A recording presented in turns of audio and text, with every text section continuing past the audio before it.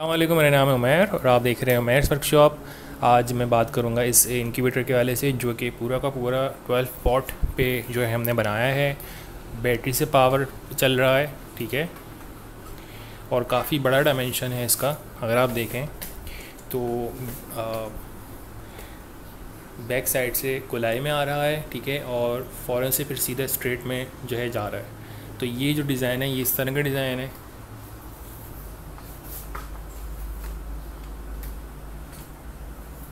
ये इसमें फिर हमें डिज़ाइन में मिलता है सामने की तरफ़ से बिल्कुल सीधा फोकस जो अंडों को सामने से लेके पीछे तक आपको अंडे दिखा रहे हैं कि बैक साइड पे तक आप देख सकते हैं कि नज़र जा सकती है अंडों पे। तो ये जो है डिस्प्ले विंडो होती है, एक तो दिखने में भी अच्छी लगती है और अंदर भी दिखता है कि जो है अंडे किस हालत में ना इसकी ज़रूरत नहीं पड़ेगी, हमने सिर्फ़ इसको फैंसी बनाने के लिए किया है। अगर आप ट्वेल्व फॉट पे इस तरह का बनाने का सोचेंगे तो ये आप नहीं लगाएँगे, इसकी जगह आप लगाएँगे बिल्कुल फिक्स दरवाज़ा और उसमें भी थर्मोपोल लगाएँगे, जिस तरह से हमने इसमें थर्मोपोलिंग करी हुई है। इसकी जो बनाने वाली वीडियो है, हम वो अपलोड कर चुके हैं एंड में दिखेगी, आपको डिस्क्रिप्शन में दिखेगी या फिर कार्ड में आ रही होगी। तो हमने जो इस्तेमाल किए हैं इसमें दो मोटरसाइकिल के हेडलाइट के बल्ब हैं, उन्हीं के बिल्कुल नीचे है फ़ैन फ़ैन जो है हवा खींच रहा है नीचे से अंडों की तरफ़ से और फेंक रहा है बल्ब के ऊपर। बल्ब के ऊपर हवा पड़ रही है, ठीक है, और वो अपनी हीट को पूरी जो है इसके अंदर घुमा रहे हैं। अगर आप देखें इतनी छोटी सी बैटरी से मैं शीशे वाली शीशा लगा हुआ है, तब भी जो है इसमें इतने बड़े साइज़ में, जो कि दो बाय, यानी कि बीस, बाईस बाय बाईस इंचज़ होगा, उस में भी मैं हीटिंग बना पा रहा हूँ। आप देखें टेम्परेचर इसका बनने में थोड़ा सा टाइम ले रहा है, क्योंकि हमने जो बल्ब लगाए हैं, वो कम लगाए दो। क्योंकि मेरे पास बैटरी छोटी वाली है तो मैंने सिर्फ़ दो बल्ब लगाए तो अगर हमने जब चेक किया इसका करंट कितना हो रहा है एक बल्ब का तो वो आध डेढ़ एम्पियर एक बल्ब खींच रहा है। तो दोनों को मिला के तीन एम्पियर हो गए। तीन एम्पियर का मतलब है कि अगर हम चार बल्ब लगाएँगे तो छः एम्पियर पे चलेगी। और मेरी बैटरी तकरीबन सेवन एम्पियर की तो अगर छोटी बैटरी पे चलाऊँगा तो एक ही घंटे में सारे के सारे बल्ब खींच लेंगे, इसकी सारी एनर्जी। दूसरी बात ये कि अगर आप चार बल्ब लगाएँगे तो आपने मोटी गेज की वायर लगानी होगी, तब कहीं जाके आपका जो है वो इजीली चलेगा आराम से।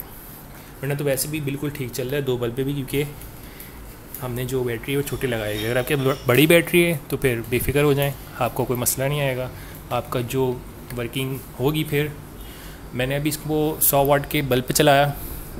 तो वो चल रहा है पच्चीस सेकेंड ठीक है ऑन और ऑफ़ हो रहा है आ, पूरा का पूरा एक मिनट चालीस सेकेंड।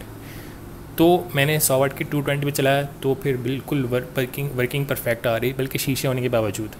अगर शीशे की जगह मैं पूरी बंद करके थर्मोपोल लगा दूँ तो समझ लेंगे कंजम्पशन है ही नहीं कोई। और अगर मैं इसको टू ट्वेंटी पे बनाता और फिर इन्वर्टर लगा के इस बैटरी से चलाता तो अगर आप बैटरी चला रहे होंगे तो फिर आपको फ़िक्र करने की ज़रूरत नहीं है। नहीं तो ये जो है डिज़ाइन बिल्कुल पूरा का पूरा ट्वेल्व वॉट पे है। जो शीट मैंने यूज़ करी है, वो करी है सुम्बुल एक सुत, ठीक है? ये ऊपर से गुलाई देने के लिए क्योंकि घूमती नहीं है, एक सुत से ज़्यादा वाली। और साइड से हमने चिप बोर्ड यूज़ करी है, क्योंकि ये ज़रूरी है, क्योंकि इसके ऊपर ही जो है लगती है, इसके अलावा नहीं लगती। और ये हमने जो वुडन यूज़ करी है, और अंदर ट्रे के लिए और आ, हर जगह जो हमने वुडन यूज़ करी है सिम्बल की है। तो उसके ऊपर हमने पेंट किया है आ, ये वाला प्राइमर का। प्राइमर के बाद अगर मैं ऑयल पेंट करना चाहूँ या एमल्जन करना चाहूँ तो वही बेस्ट है। इसमें जो सेटिंग करी हुई हमने वही 38 पे ऑफ़ होगा 37.5 पे ऑन होगा आधा डिग्री का डिफरेंस है। और अगर मैं इसको पूरा बंद करता यानी कि चीज़ नहीं लगाता फैंसी नहीं बनाता तो समझ लें कि कंजम्पशन है ही नहीं। आपका बल्ब चलेगा ही नहीं। सौ वाट पे भी लगाएँगे तब भी। तो और अगर मैंने ये लगा दिया तो समझ लें कि फिर वो ढाई मिनट, यानी कि दो मिनट तीस सेकंड तक बंद रहेगा और चलेगा सिर्फ़ बीस सेकंड। तो कंजम्पशन समझ लें कि ना होने के बराबर है। तो अगर आप ट्वेल्व वाट बना रहे हैं तो कंसिडर करें इस चीज़ को इंसुलेशन को, कि जो इंसुलेशन है पूरी की पूरी, पूरे बॉक्स में इंसुलेशन है, ऊपर बैक से लेके ऊपर तक साइटों से और नीचे से। जो नहीं है, वो है फ्रंट पे। तो बस इस बात का अपने ख्याल रखने कि इतनी कम कंजप्शन आपकी इसमें हो रही है। अगर आपकी कम कंजप्शन हो रही है तो बेस्ट है, आपके तो कोई ख़र्चा नहीं होगा इंक्यूबेटर में हैचर में और ब्रूडर में। नॉर्मली इसको हम ब्रूडर पे भी यूज़ कर सकते हैं इजीली अच्छा सबसे आखिरी सवाल जो पूछना ज़्यादातर लोग होल्स कहाँ करें? होल्स आप कर सकते हैं साइटों पे, ठीक है? यहाँ से तीन होल करे हुए पेंसिल होल ठीक है? तीन होल यहाँ से। और जो जाने वाला रास्ता है, यानी कि जो कार्बन डाइऑक्साइड बाहर एग्ज़िट करेगा, वो ये है। तीन होल ऊपर की तरफ़, यहाँ से ताज़ा हवा इंसर्ट होगी और जो भी है हीट बन बना के ऊपर से यहाँ से आउट हो जाएगी। तो जो एक्सेसिव हीट है, वो आपकी बाहर आ जाएगी।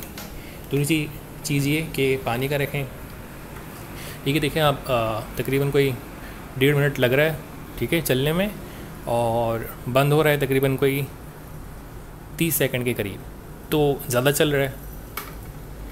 ज़्यादा चल रहा है और कम बंद हो रहा है क्योंकि हमने पावर कम लगाई हुई है। पावर कम ज़्यादा लगाएँगे तो की बंद ही रहेगा डेढ़ मिनट तक। अब हम इसको जो है ओपन करके देखते हैं क्योंकि एक दफ़ा हीट बन चुकी होती है तो फिर वो बनाना वापस मुश्किल होती है। अब हम इसकी ट्रे का देख लेते हैं, अंदर ट्रे किस तरह की बनी हुई। तो टेम्परेचर इसका काफ़ी देर में बन रहा है। खैर, वो तो बनेगा। अब इसको जो है हम यहाँ से ओपन करेंगे। ये इसकी चपक्का कुंडी कहते हैं इसको। यहाँ से ओपन किया और बहुत ही एहतियात के साथ इसको ओपन करेंगे क्योंकि शीशा शीशे की जगह आप आर क्लिक लगा सकते हैं क्योंकि जो टूटती नहीं है। शीशा हमने बस इसलिए लगा लिया क्योंकि वो हम आर क्लिक हमें मिल नहीं रही थी।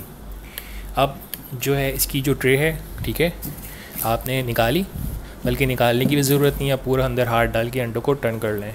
लेकिन निकाल रहे हैं तो पूरा आपकी ट्रे यहाँ बाहर तक आ सकती है। और अच्छा खासा वज़न जो है ये उठा सकती है। ठीक है?